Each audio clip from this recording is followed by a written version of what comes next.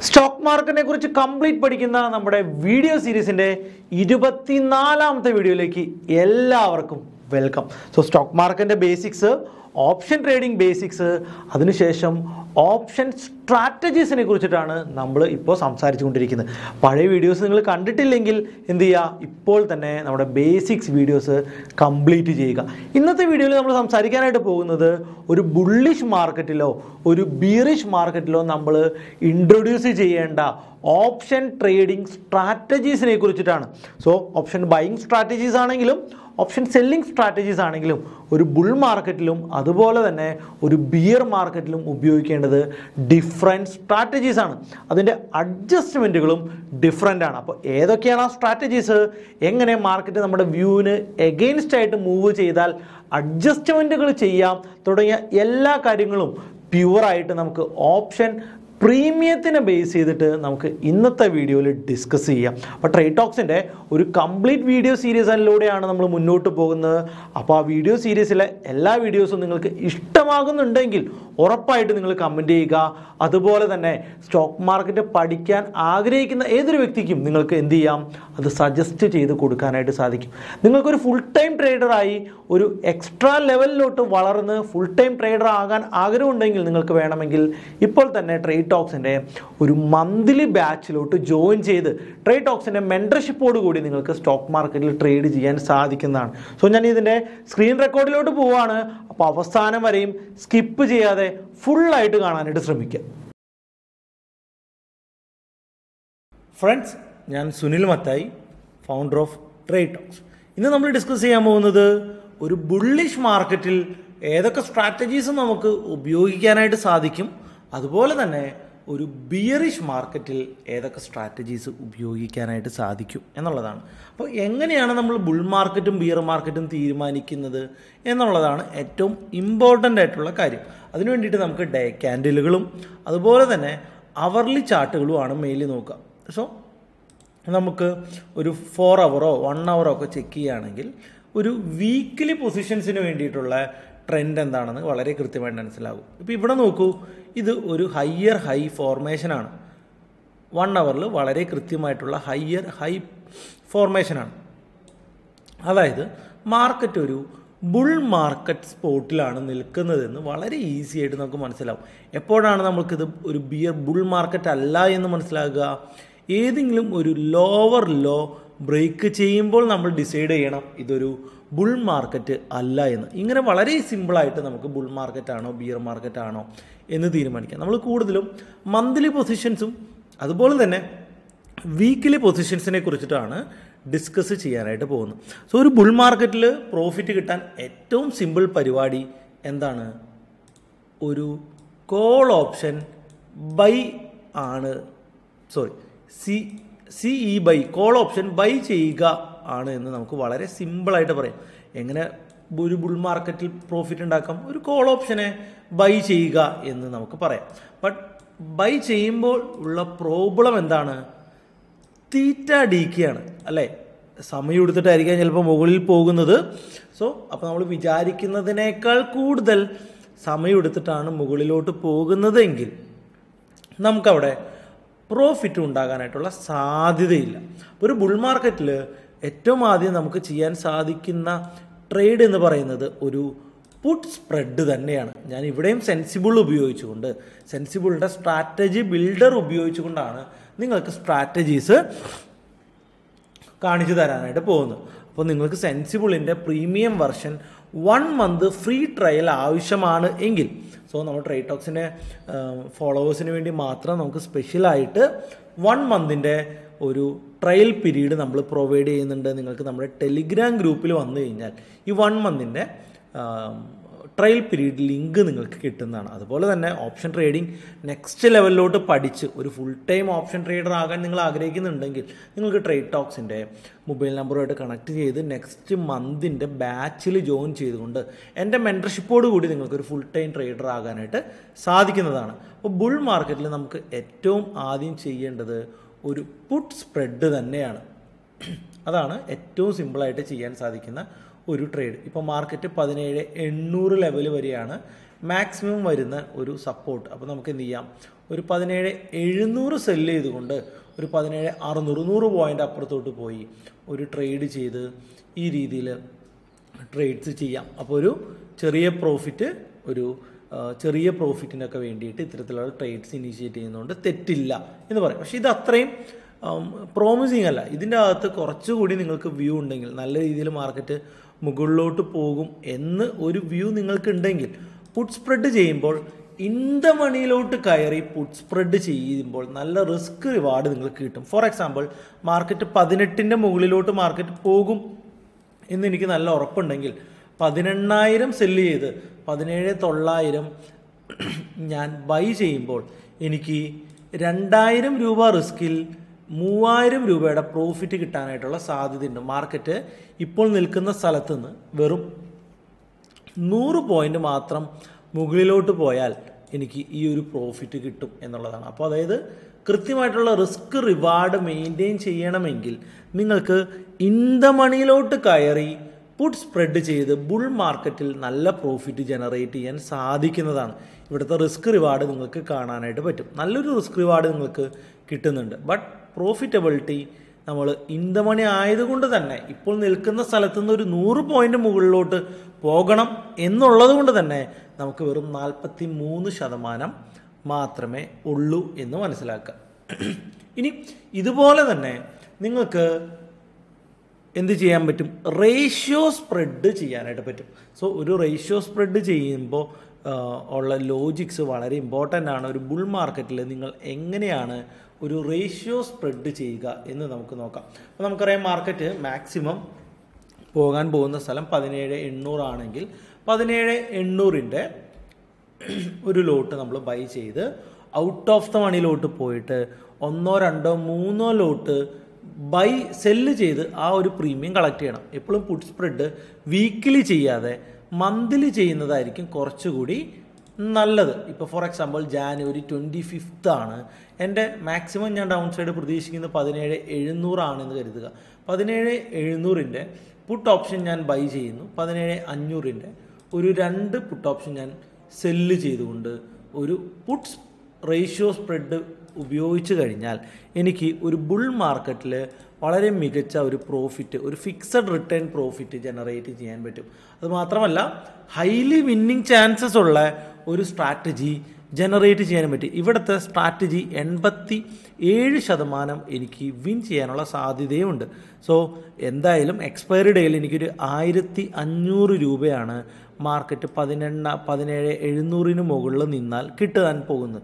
വെറും ഒരു ലക്ഷം രൂപയ്ക്ക് ഒരു ഒന്നര ശതമാനം റിട്ടേൺ കിട്ടുന്ന ഒരു ഫിക്സഡ് സ്ട്രാറ്റജി ഒരു ബുൾ മാർക്കറ്റിൽ ചെയ്യാൻ എനിക്ക് ഇത്തരത്തിലുള്ള സ്ട്രാറ്റജീസ് വിൻ ചെയ്യും. സാധിക്കുന്നതാണ്. അത് മാത്രമല്ല ഇൻ കേസ് പുറകോട്ട് വന്നാൽ നമ്മൾ അത്യാവശ്യം സേഫാണ്. പതിനേഴ് നാനൂറ് അടുത്ത് നമുക്കൊരു പ്രീമിയം സ്പൈക്ക് ഉള്ളതുകൊണ്ട് നമുക്ക് ചില ഒരു പക്ഷേ പതിനായിരം രൂപ വരെ പ്രോഫിറ്റ് കിട്ടാൻ ഒരു ചെറിയ ഡൗൺ സൈഡ് ഹെൽപ്പ് ചെയ്തു എന്നും വന്നേക്കാം.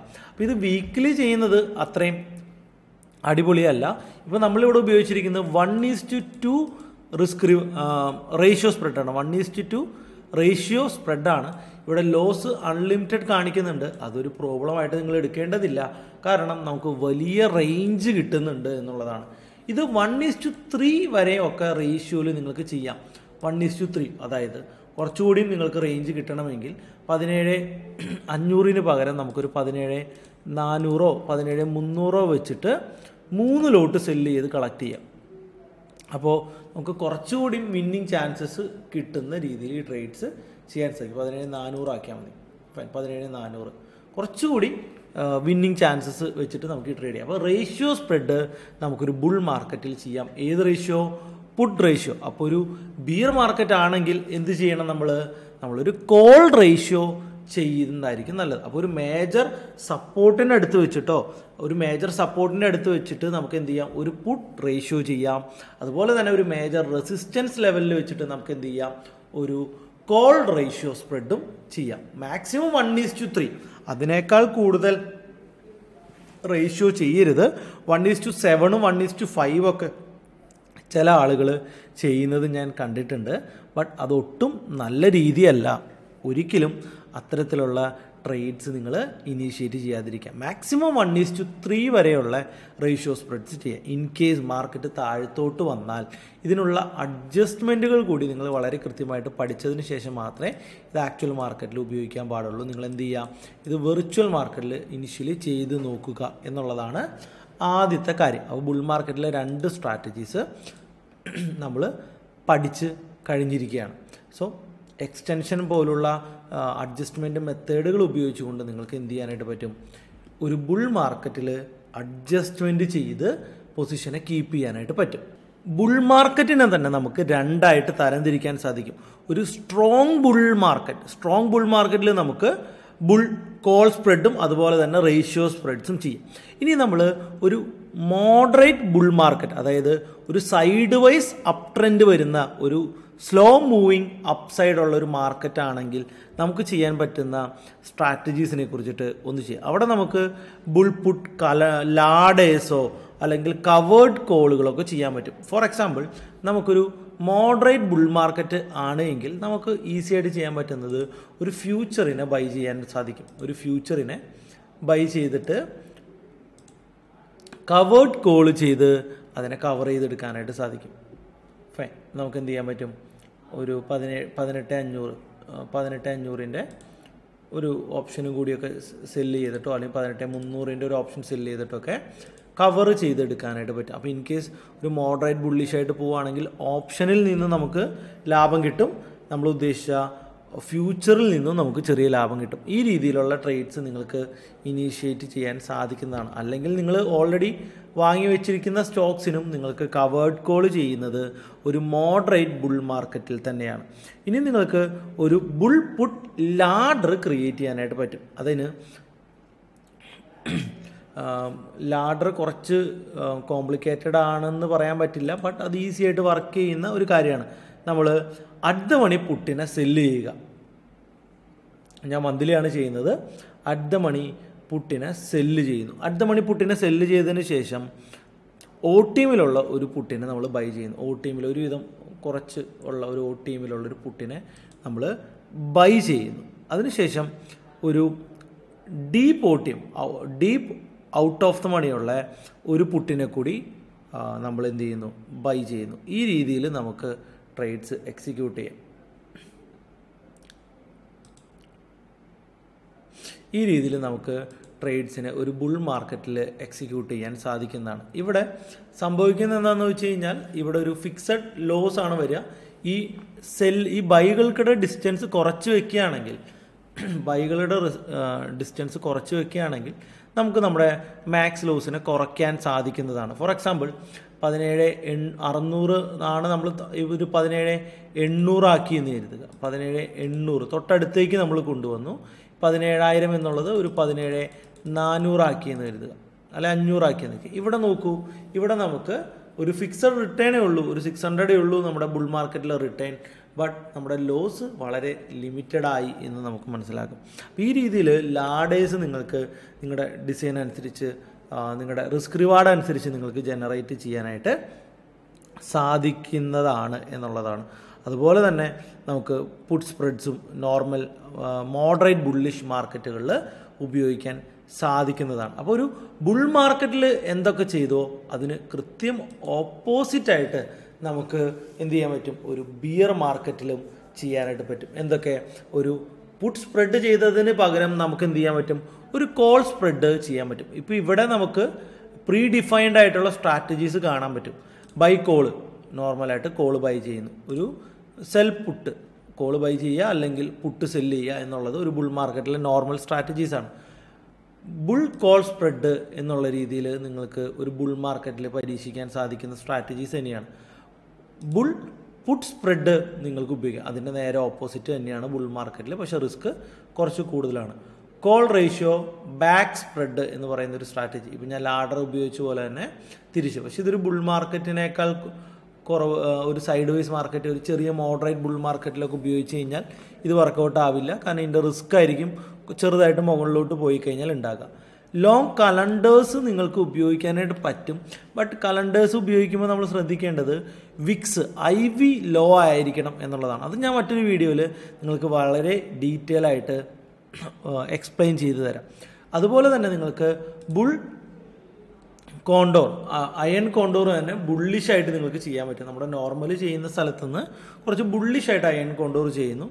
അതുപോലെ തന്നെ ബുള്ളിഷ് ആയിട്ട് നമ്മളെ ബുൾ ബട്ടർഫ്ലൈസ് അല്ലെങ്കിൽ അയൺ ഫ്ലൈസ് നമ്മൾ കുറച്ച് ബുള്ളിഷായിട്ട് ചെയ്യുന്നു എന്നുള്ളത് നിങ്ങൾക്ക് ചെയ്യാൻ പറ്റും. പിന്നെ റേഞ്ച് ഫോർവേഡ് എന്ന് പറഞ്ഞിട്ട് ഒരു ട്രേഡ് ഉണ്ട്. അത് വളരെ സിമ്പിളായിട്ടുള്ള ട്രേഡാണ് സെയിം വീക്കിലെ ട്രേഡുകൾ കുറച്ച് അർദ്ധ മണിയിൽ സീറോ ലോസ് വരുന്ന രീതിയിൽ എന്നാൽ മുകളിലോട്ട് പോയാൽ വലിയ ലാഭം കിട്ടുന്ന രീതിയിലുള്ള ട്രേഡാണ് ബട്ട് ഇവിടുത്തെ ഒരു പ്രശ്നം എന്ന് വെച്ച് കഴിഞ്ഞാൽ നമ്മുടെ വ്യൂ തെറ്റിപ്പോയി കഴിഞ്ഞാൽ നമുക്ക് വരാൻ പോകുന്നത് അൺലിമിറ്റഡ് ലോസ് ആണ്.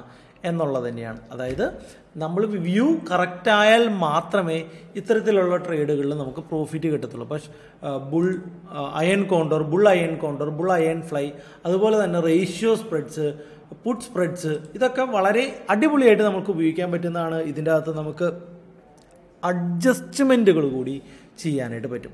സോ ബിയർ മാർക്കറ്റിലോട്ട് വരികയാണെങ്കിൽ ഞാൻ നേരത്തെ പറഞ്ഞ പോലെ തന്നെ പുട്ട് സ്പ്രെഡ് നമുക്ക് ഉപയോഗിക്കാം. അല്ല സോറി കോൾ സ്പ്രെഡ് നമുക്ക് ഉപയോഗിക്കാം. ഒരു കോളിനെ സെല്ല് ചെയ്യുന്നു ഓ ടീമിലെ കോളിനെ ബൈ ചെയ്യുന്നു. ഇൻ കേസ് മാർക്കറ്റ് അവിടെ തന്നെ നിന്നാലോ അല്ലെങ്കിൽ താഴത്തോട്ട് വീണാലോ നമുക്ക് പ്രോഫിറ്റ് കിട്ടും. അപ്പോൾ ഒരു ഇന്ത മണിയിലോട്ട് കയറി ചെയ്യുകയാണെങ്കിൽ ഇതിനേക്കാളും മികച്ച റിസ്ക് റിവാർഡ് നിങ്ങൾക്ക് കിട്ടും.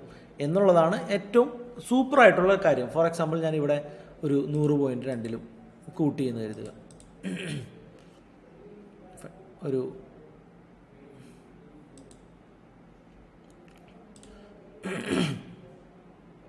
ഓക്കെ